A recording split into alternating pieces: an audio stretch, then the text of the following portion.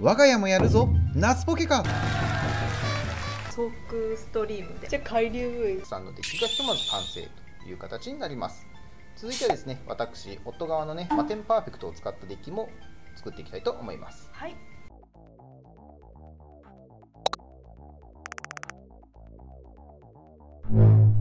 はいというわけでようこそおいでくださいました、えー、我が家の夏ポケかシールド戦をやってみようえ今回はですね夫がマテンパーフェクトでデッキを作るの回でございます、え前回ですねシールド戦のご紹介とあとは奥さんがソークストリームでデッキを作るという回をやったんですけれどもまだご覧になってない方はぜひねそちらを見てからお越しいただければと思います。で、え奥さんはですね今後ろでですね、え作ったばかりのデッキをですねデッキシールドに入れてカードのね効果をよくよくね見ているという感じでございますので、えー、とても静かにしていると思います。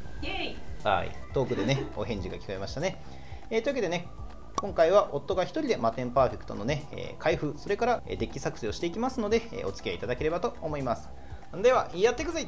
はい、で、マテンパーフェクトの方はですね、水、超、糖、悪、鋼、ドラゴン、無色というね、タイプのカードがおります。さらにはね、一撃のポケモンがいるってことなんですけどもね、まあ、シールド戦ではそのね、一撃がね、生かされるようなことはないかなとは思うんですけども、まあ、個人的にはですね、まあ、あのジュラルドン VMAX あたりをですねバチンとね立ててですねケチョンケチョンにやってやりてえななんていうふうに思っておりますけどね。前回のね奥さんの動画を見ていただければ分かると思うんですけどね奥さんね VMAX ラインを揃えることができなかったんでですよね。VMAX のラインを立てるってことをね目標にしてねやっていきたいなというふうに思っております。まあね前回のねあのリザードンハイパーレア争奪戦の時のバックあれはパックの仕様が違って VMAX と V ポケモンが一緒に入ってたんですよね。シールド戦をねするのを想定して、まあ、当然ね V と VMAX 揃わないとね悲しいことにはなりますのでまあ親切なというかねいい仕様だなとは思ったんですけどもね今回はちょっとね厳しい仕様にはなっておりますよね。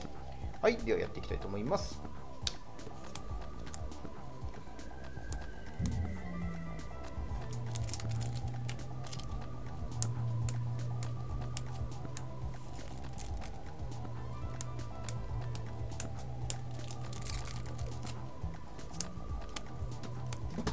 はい出ました。V ポケモン1匹目ゴルーグ V でございます、えー、まあ、退化させられるねリワインドビームっていうのを持ってるんですけど、まあ、退化させたところで180じゃちょっとね火力は足らんだろうって感じですね。あとエネが結構重い。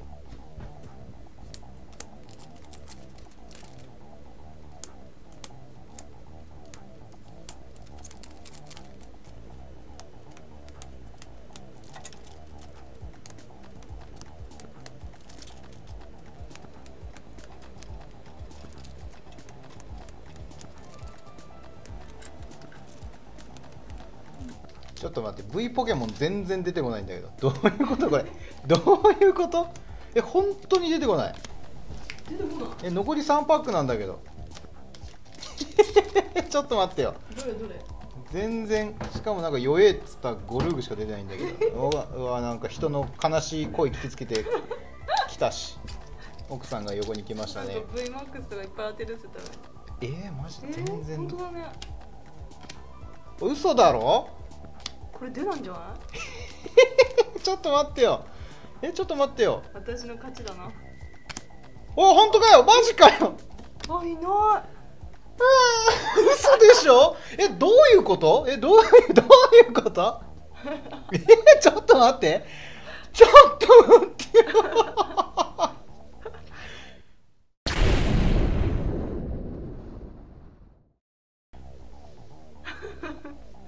えー、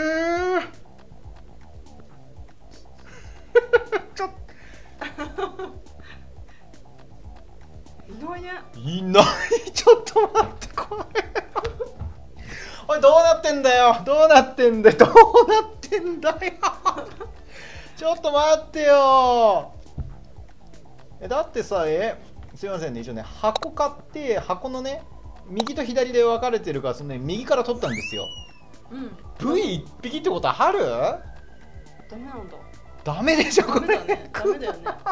えどうすんのこれ？えちょっと待ってよ。ゴルーグは正直弱いよ。しかもだって奥さん別に退化させて苦しむことないよね。だって海流だって進化しないでも戦えちゃうからね。海流ね、うん、海流。海流ね。正直ね。進化しないもん、ね、マジかよ。えどうしようこれ。この公式のね印刷したよこれ。主軸となるポケモン考えましょうって言うけどさ。うん。ゴルーグしかいねえもんゴルーグしかいゴルーグしかいねえんでどうすんだよこれ。ゴルーグ正直強くねえよ。弱いんだしかも。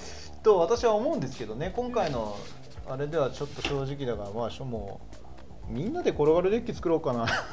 ちょどうしよう本当に。えー、でももうしょうがないんでゴルーグを抜くの？ゴルーグを使うかどうかですねまずね。ゴルーグを使うかどうかなんですけど正直迷うけどちょっと使わないかな。うん。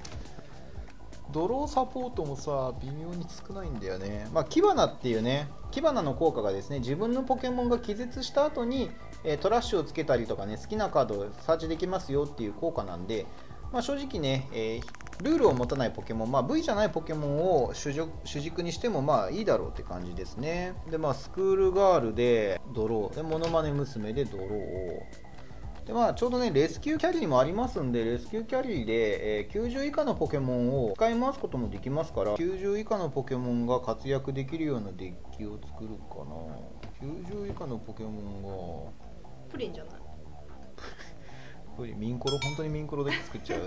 まあ進化の子も使えるでしょ？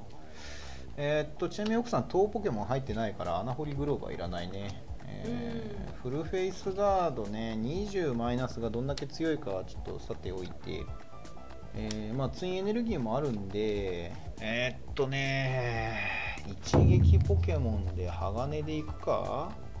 我流の巻打つか？ワンチャン。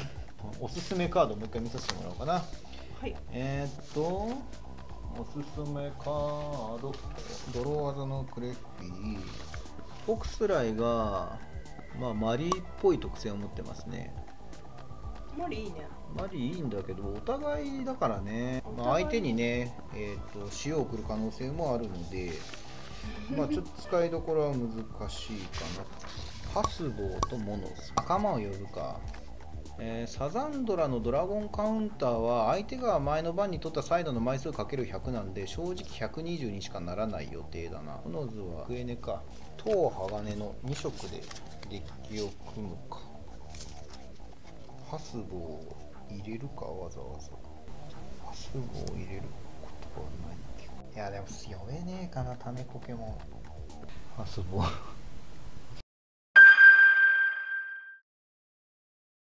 かでもレスキューキャリーで微妙に持ってこれるポケモンいないんだな正直レスキューキャリー入れる意味あんまない気がするな。使い回せる90のポケモンいねえもんな。一応うちのメインアタッカーがダイオードっていうあちょっと待ってよ。これひどくねえかな本当に。何これ？あこの子がメインなの？この子メインですね。今回の私のメインポケモンダイオードですね。えー大往生しないでください。大王道ね。ちょっと一瞬カンニングさせて。はいはいえーっと、まあ、230だから、うん。70ダメージだからサンダーで70与えてからの10万馬力で160で230与えられるようになるっていうね。そういううん。プランでいこうかな。弱え。弱え。弱えなどうすんのこれはいというわけで、えー私ホロニガのデッキも完成しました。えーまさかのですね V がゴルーグ V1 枚だったっていうね衝撃の回復結果になりましたので もうね、まあ、正直ゴルーグ V は弱いだろうと思いまして、えーまあ、再度4枚分ねしっかり戦おうという方針で、えー、非 V、まあ、ルールを持たないポケモンで組んだというような潔の良いデッキとなっておりますメインアタッカーは大王道ですね、ま160ダメージはでけえだろう。エネルギー加速用のニャイキング。それから少ないエネルギーで技が使えるエビワラ。さらには自分でエネルギー加速ができるガラルサンダー、まあ、サポートをね呼べるチルタリスがいるんですけども、まあ、正直サポート4枚しかいないんで、まあ正直そんなにみたいな感じはあります。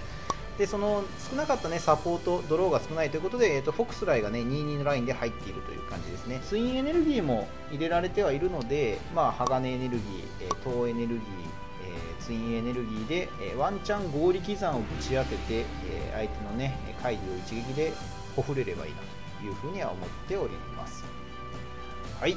というわけでこの男のノーガード V がいないデッキで戦っていきたいと思います。では次回は対戦編でございます。夫の運命やいかにお楽しみください。